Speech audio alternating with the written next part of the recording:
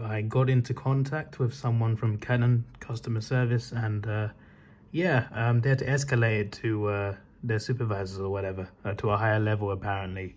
It's, I don't know what the issue was, but to my specific repair, they had to, because the form wasn't working for me for some reason.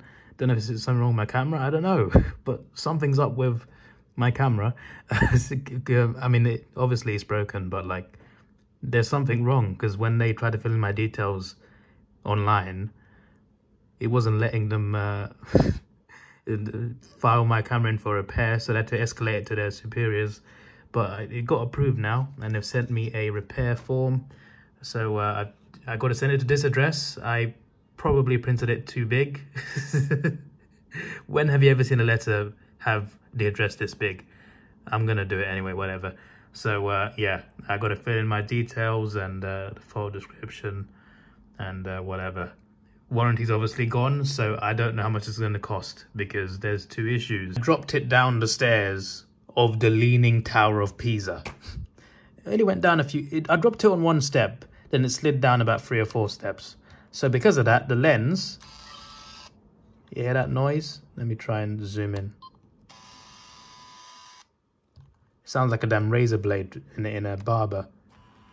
It's okay going back, but yeah, you can visibly hear it when you play the footage back as well.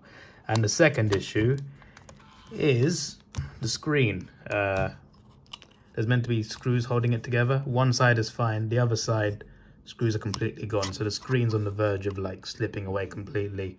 And uh, obviously I don't want that. So I've got to find the packaging as well. Like I got to package it in bubble wrap. I haven't got any of that. So hopefully the post office has those things to sell and uh, I can send this away and hopefully it will be back soon because I've got other things planned. But uh, it's a great camera. There's actually a replacement camera. I bought this camera originally in 2016. Then that one actually broke and it was under warranty, but they couldn't fix it. So they sent me a second one. they, they gave me a voucher to buy a second one so this is that second one from uh, December 2018. The original one was summer 2016, and the second one is now broken. Um, not the first time the screws fell off either. But uh, yeah, if, if it was just the screws, you can buy the screws on eBay. But the lens, that's a problem. So I'm going to send it straight to Canon because Curry's couldn't repair it. Because apparently you got to buy it there, even though they repair TVs that are not bought there, laptops that are not bought there. But if it's a camera, it has to be bought there for some reason. So I got to send it, I got to post it to Canon or go there myself. Um, the one closest to me is in Hertfordshire, just outside London. Takes like half an hour to get there by car. I don't drive, um, so I'm just going to post it. So uh, yeah, let's see how this goes. Looks stupid here, but on the email it said I have a option, set a repair limit or re request an estimate. But if if they if you request an estimate, if they send you the estimate and you disagree with it, you have to pay like you, there's a charge of 30 pounds 31 pounds which is quite interesting um, but honestly i have no idea about how much camera repairs cost. The screws i'm sure are cheap but the lens the lens is a you know is part of the camera it's part of the main body. So like opening the lens zooming in etc it causes a noise. But obviously it's within the camera. It would probably it sounds expensive. I put 100 pounds. The cameras the camera cost 560 pounds. Even six years later it still costs that much um, it's a great camera of course. There's a, even another version now. There's a mark 3 i got the mark 2 um, but i don't know how much it costs. I don't know if this is a stupid price or not. I, it might cost more than that to fix. I don't know. But i put 100 pounds limit. And uh, if it's within 100 pounds they won't they will just charge me whatever. If it's above 100 pounds they will email me and say, actually, it will cost this much to repair it. So, uh, yeah, I've spent a lot of money this year. Uh, and I am getting paid from work, of course. Uh, YouTube's not paying much uh, from my other channels. Um, but, you know, I've got my wages coming in. Um, but I'm spending an alarming rate of money, especially going on holiday as well, uh, soon to Australia. This is another setback. Uh, but, you know, if I work for the rest of the year, work some overtime, I'll make all the money back. But that's not the point. The point is, I'm spending too much. Even though I'm, ma I'm making more than I'm spending, I'm still spending too much. So, uh, yeah. I will learn not to drop my camera next time. now Saturday morning. I wanted to wake up at 9 a.m. Well, I wanted to wake up earlier than that for a 9 a.m. opening of the post office. Um, and it closes at half 12 on Saturday. Um, it's 11 o'clock now. I did wake up at like half nine, but uh, you know, I'm just, I'm just me in it. I'm, I'm just me. I, I sometimes, I don't know, in, in, it's, it's in the morning, it always takes me hard to get going. Like first is getting out of bed and then sometimes I start walking around. I don't know why I do it, but I keep walking around and by the time I, then I realize it's been half an hour. But yeah, uh, I just walk around thinking, I need to stop doing that. I'm like an old man. Anyway, uh, yeah, um, if the post, I'm gonna, like, I don't have packaging. So the post office do have packaging online. Hopefully in store, they can help me package the product because I need it wrapped in bubble wrap and also package it in a secure box. And if they can't do it, there is Royal Mail. Obviously, Royal Mail are part of, you know, you know, they're part of the same family, really. But Royal Mail, they close late, like 3.30 today, which is quite early, actually. But Royal Mail open for longer is the point. Weekdays open from like 7 p.m. or something. Um, so if the post office can't package it, then hopefully the Royal Mail can, because I can post it through either one. Um, yeah, so let me try and get this posted and then hopefully I can watch Doctor Strange for the second time and then I want to come home, record two Ultraman reactions, stream, hopefully watch a movie from Movie Monday and then fall asleep. Hopefully that's all done by like midnight. Anyway, I've, I've got 13 hours to do all that. Yeah, it should be should be quite a bright day. Flat is something else. There's a lift broken. That's been broken for a little while. Last night when I came home from work, both lifts were out of order. One is working now, but it's taking too long, so I'm walking down the stairs. Like, I live in the bottom third of this flat. It's quite a tall flat. I feel bad for those last night who lived, like, near the top. But I'm just like, that's a lot of staircases. it's a lot of damn staircases.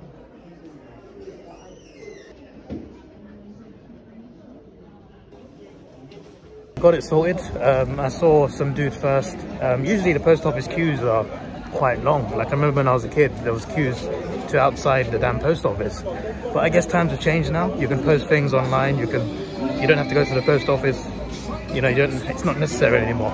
It used to be when I was a kid. It used to be like you had to go there. If you had to like sort something out, not just posting things, but other things as well. But now you can do a lot of things online, so it kind of makes sense.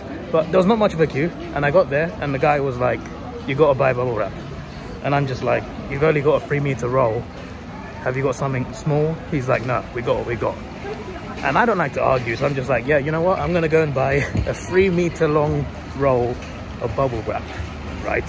Along with the box. In total, that cost eight pounds, eight pounds 20 something for the packaging. And I'm just like, uh, you can't pack package it for me? He's just like, nah, you, you gotta package it yourself.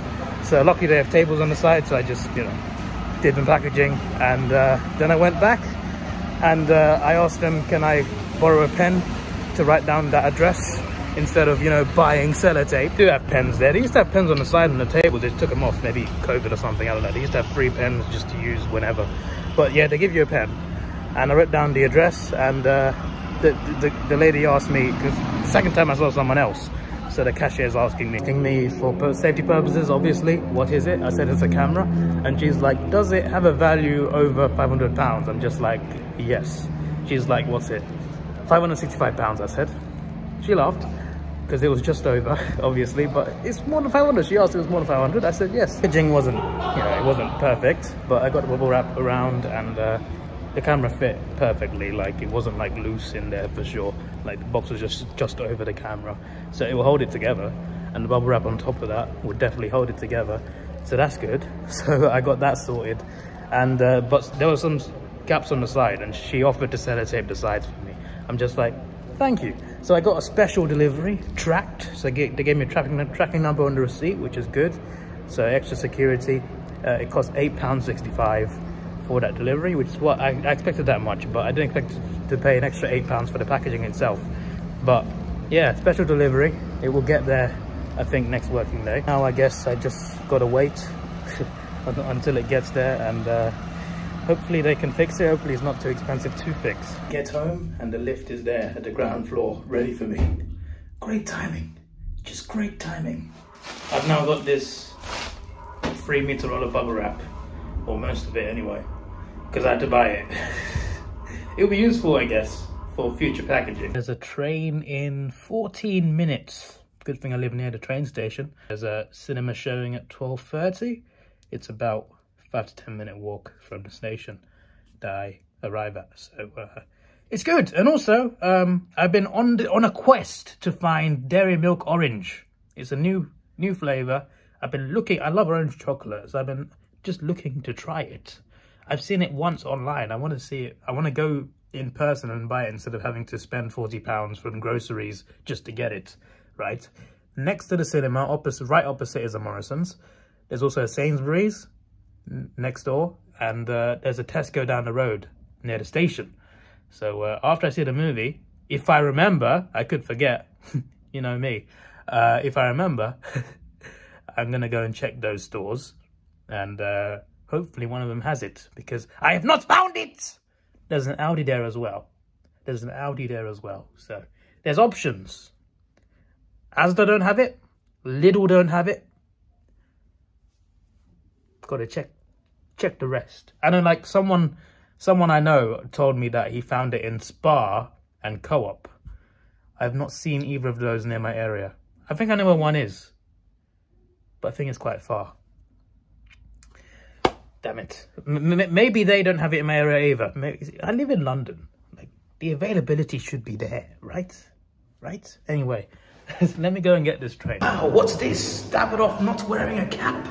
What's going on today? I went to the post office. I took a pen with me just in case and I couldn't find it in my pocket. And I was like, I put it in my pocket. But I, I, just thought, oh, maybe I just, I didn't. But I thought I remember I did put it in my pocket. So I was just like, at the post office, I was so confused. I was just like, where's my pen? Where's my pen? I can't find it. I was just like, oh, I must have forgot it then. But I remember, I distinctly remember putting it in there, right? I used their pen, right? I go back home, I, I come back out, and it falls down my trousers. There's a hole in my left pocket in my jeans. A small hole, but enough for a pen. It was down my trousers this whole time, and it just slid out onto the floor as I was walking. Funny, I actually work fairly close to this area, so whenever I come down this area and it's not for work, I'm always thinking, what if one of them sees me? What if a manager sees me or my uh, work colleagues see me? I always wonder like, what if they see me? That would be interesting because None of them know. None of them know I'm a YouTuber. You can see there's main roads here, and not everyone lives close like me. People drive here, so I'm wondering like, what if a fellow worker sees me and, and they're driving in their car, and there's like, why is David over there filming? What's what's going on? What's what? Why is he there? I think they'd be confused a bit because they'd be like, okay, I see David, but why is he recording himself? What's going on there? Because none of them know I'm a YouTuber, and uh, I'm in cinema now, by the way. And as a balance to that, I guess none of you guys know on any channel where I work. So uh, I guess, yeah, just a big balance there. But anyway, um, 10 minutes to the movie. Let me go get some uh, snacks and uh, I'll be in there. It's a YouTuber called The Flick Pick. He's got two channels, The Flick Pick and John Flick Flickinger. Um, love his channel. One of my favorite movie YouTubers. Love his reviews, love his vlog videos, movie trips, whatever any, anything he uploads I enjoy watching and he always goes on about Sour Patch Kids. Never tried them, but he always goes on about how good they are and he always buys them at the movies and I've never gotten them. So I thought, hey, they have them in the UK. I thought there was just a US thing, but actually no. There's two flavors, original and cola. I bought cola. Don't know what the difference is, to be honest. Um, but yeah, he likes them. So I thought, hey, let's try it out. see if it's any good. But yeah um, it's free of course because I'm, I'm a member. Although it's a monthly payment but if you go like three times a month it's worth it because after that every time you go is free. This is done. Nice sunlight in the afternoon. My thoughts on this movie after second viewing pretty much the same. Pretty good. Should have been longer. Could have been better.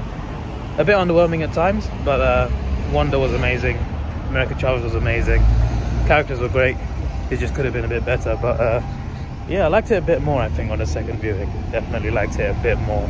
Uh, some definitely emotional bits, but I still feel like something was missing. I just don't know what it is. Um, but yeah, a little bit underwhelmed, shall we say. And I love Marvel. I do love Marvel. Like, there are some movies that are not that great, that are bad, but I love the overall universe. For a movie that's so big, there's. For a movie that's uh, that's so big, I feel like it needed more. That's all. Um, but yeah, like I, I enjoy most of them. There are some that I don't like that much, like Iron Man 2, Iron Man 3, the first two Thor movies, uh, Guardians 2. I loved Guardians 1. That was great. Guardians 2 I didn't really like that much. So Age of Ultron, that's an Avengers movie that I didn't like. So, you know, there are some that I don't like.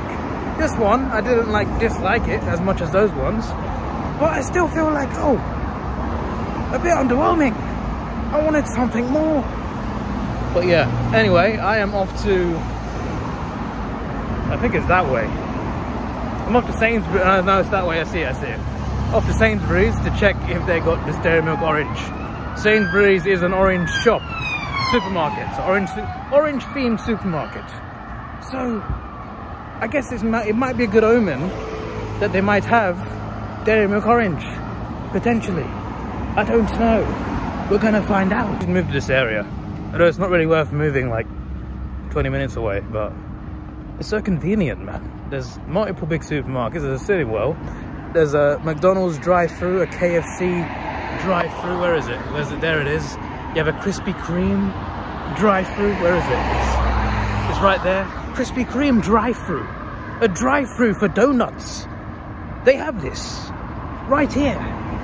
Then you've got a retail park where there's sports clothing stores and next. It's right there a Krispy Kreme with a drive-through. A drive-through for donuts. Nando's? I don't like nando's though. There's a subway. There's a smith's toys. They sell ps5s there. I mean i don't know if they have them in stock right now but they sell gaming things uh, not quite as good as hamleys which is an elite london toy store but uh, they got smiths here you know they got costa coffee there's a starbucks inside the cineworld if you prefer starbucks you know they've got they got a shop called Pets. Can you buy pets there? Always wanted a pet. Wasn't allowed when I was a kid. Uh, went to Aldi first actually.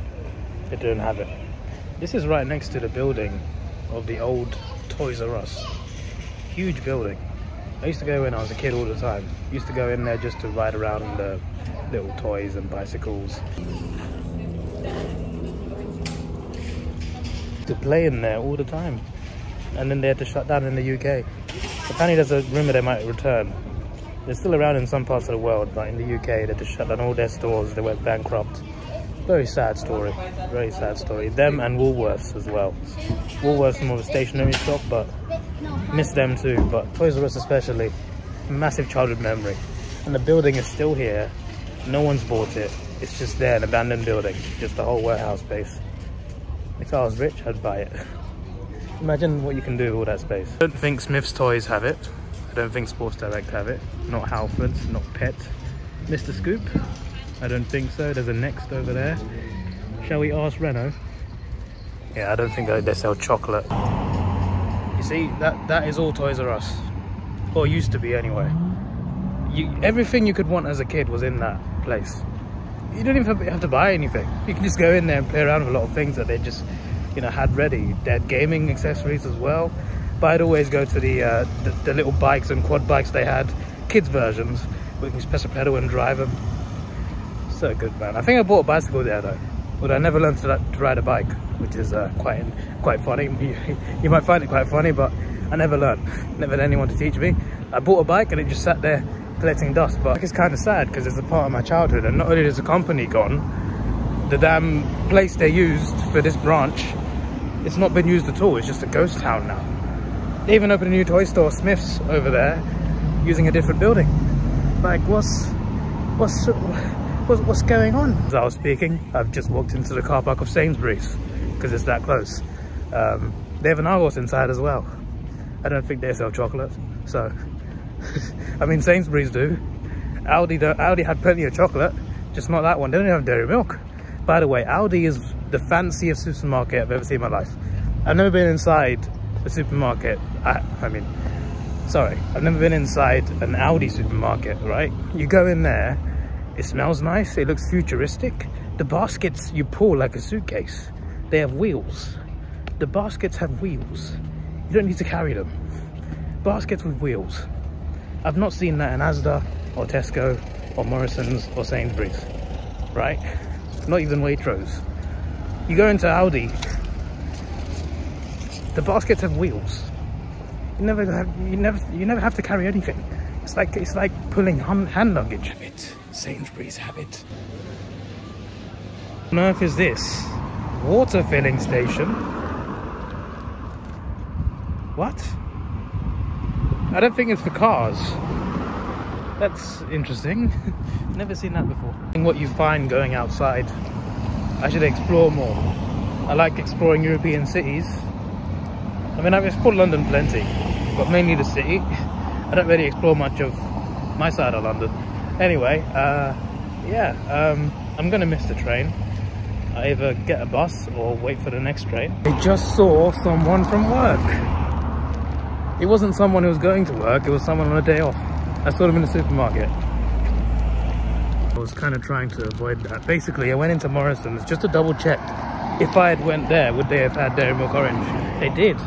They had like two left, but there was like a small compartment, it was there. So, you're telling me everyone has it except the one next to me, Asda. Ridiculous.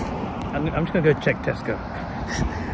just, just to confirm my theory. Suspicions have been confirmed. Tesco also have Dairy Milk Orange. So you're telling me out of the big four supermarkets in the UK, the one that doesn't have it is the one next to me. Asda. I, I feel like there's a conspiracy against my area. The FA Cup final is today. Chelsea v Liverpool kicks off in half an hour. I'm going to watch it. I usually enjoy the FA Cup final. I usually watch it um, it's usually quite a good game. I don't mind who wins this year, to be honest. I'm not really that fussed. I just want to see a good football match. So uh, I'm going to watch that. Guy over pot just asked me if I could donate some coins to uh, mental health. Um, the only coins I had were euros. So I told him, like, I got euros, you want euros? I've been trying to get rid of them since I got back from Italy. But for some reason, money exchange wouldn't take back coins. I'm just like, I got euros. You want those coins? He's like, no. Fair enough. I haven't got any other coins, so... the way, I didn't finish the Sour Patch Kids. They're, they're alright, but I should have bought the uh, the other one that had more flavors. Instead I bought one that had one flavor. But uh, yeah, um, I don't get John's hype about it, to be honest. But it's not bad. Um, I need to try the other one though. Right, let's see if the days of trying to find this was worth it. Yes, definitely worth it. Oh yes. It's what I imagined. Beautiful. A cup of squash that I got, well, I got this cup from uh, my Arsenal membership pack. Yeah, I'm not going to take my fingers off. Oh, there we go. and I'm about to watch the FA Cup final.